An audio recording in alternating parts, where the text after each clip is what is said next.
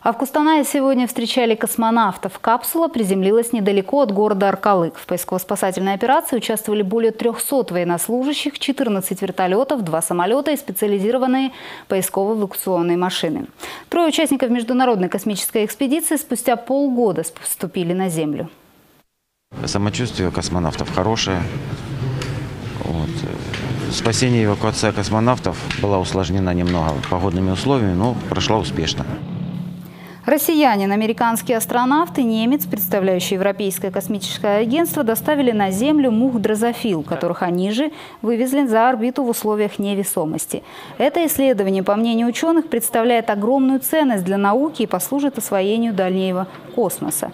На борту МКС исследователей сменили три борт-инженера, в том числе одна женщина. Они были отправлены на станцию 26 сентября.